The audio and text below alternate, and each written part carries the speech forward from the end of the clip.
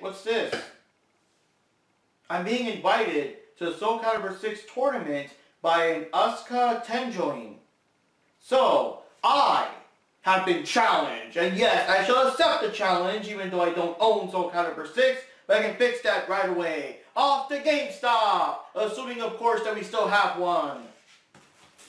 My wallet, my keys, my hat. Let's do this.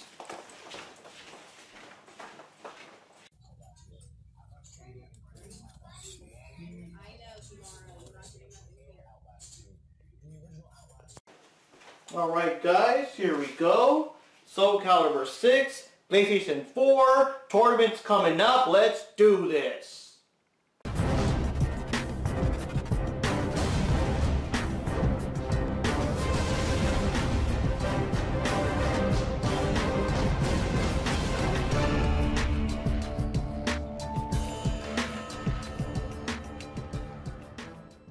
Hey, hey, this is Mark Rodriguez, and you're watching the Video Game Masters, and since Poke isn't around, my wristband is safe.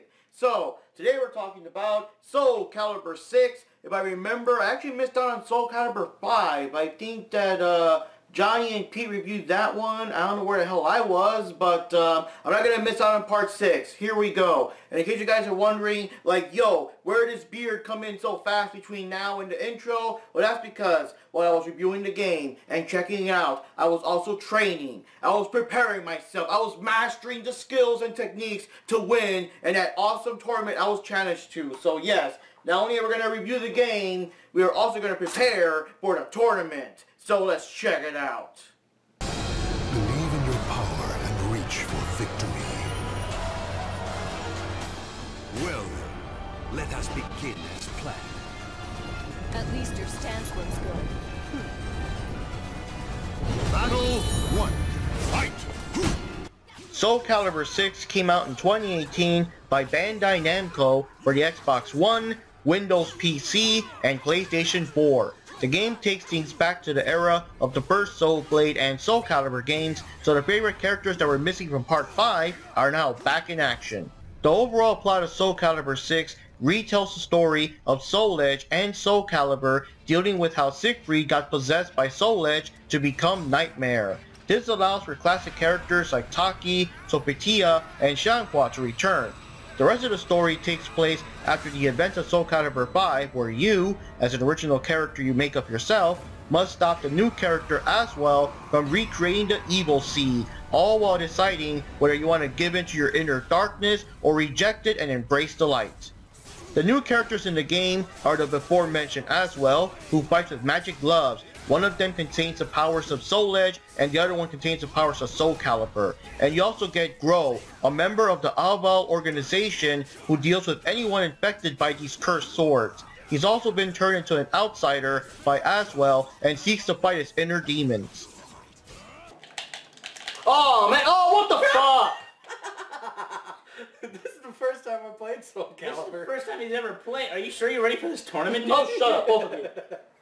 Soul Calibur has always had guest characters, and this game has quite a few. First off, the base game already has Geralt of Rivia from the Witcher series, and that's pretty awesome.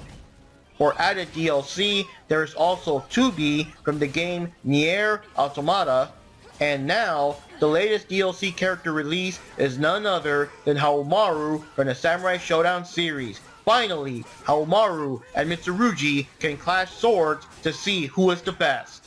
Soul Calibur 6 has a lot of cool game mechanics, mostly from the other games, but the most notable new one is the Reversal Edge. Both characters go into this super cool slow motion type flash, and depending on what button both opponents press, you can either dodge the attack, reverse the attack, land a brand new attack, cool things like that. It kind of feels like rock, paper, and scissors to me. Oh damn it! I lost again. Hey bro, you're not paying money for that tournament, are you? Oh no, no, it's a free tournament. You know, it's like free for YouTube, so I didn't. It didn't cost me Oh anything. thank God. Hey, what does that mean? Oh nothing, bro. You're doing good. You're doing really good. Hmm. When your soul gauge is full, you can choose between doing the critical edge or the soul edge. The critical edge is a super cool cinematic finishing move you see in a lot of fighting games nowadays, like this one. This is as far as you go. Ah!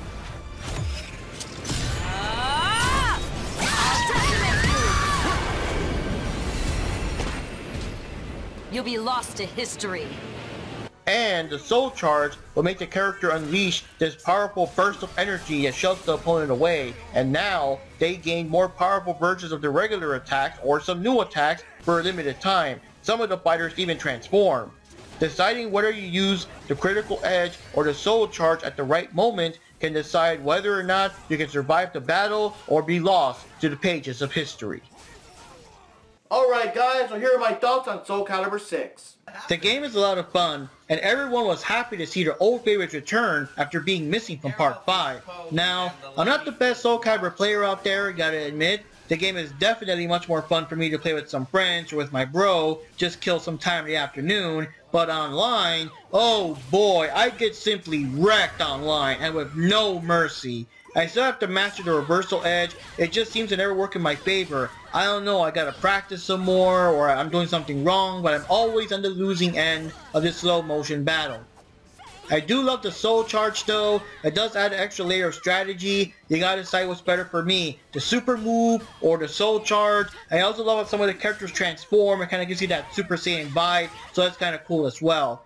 For the people that love to create their own characters, and there's a lot of you out there that love to create your characters, this game actually allows for up to 100 creative character slots and they keep adding new costume pieces and colors and details and whatever with DLC sets. So you guys can just go nuts. Now, I do find it kind of funny that almost everyone I run into that is an original character is always this dark and gothic, demonic edge lord character. Like everyone wants to be some kind of evil demon thing. But I do find this Ivy variant to be pretty cool. So my props to you for this design. This one's pretty cool. Overall, Soul Calibur 6 is an amazing game with great graphics, gorgeous stages, good music, that good nostalgia feel because it does take you back to Soul Calibur 1 and 2 and Soul Edge and all that. And it's just a fun game overall.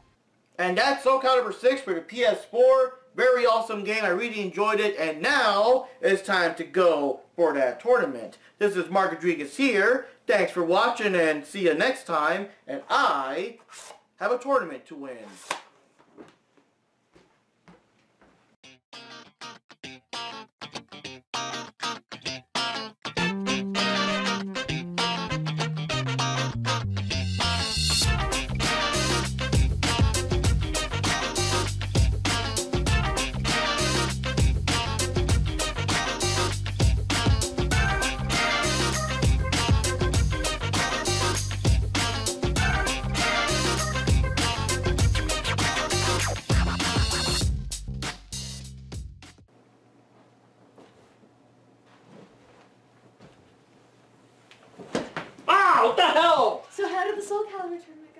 Um, oh man, you should have seen me. It was so awesome. I was kicking ass and taking names, just slicing and dicing. It was amazing, man. It was like so...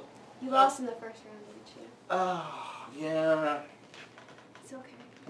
I mean, you don't have to. You don't have to hide. You don't have to cry. It's okay. I got you.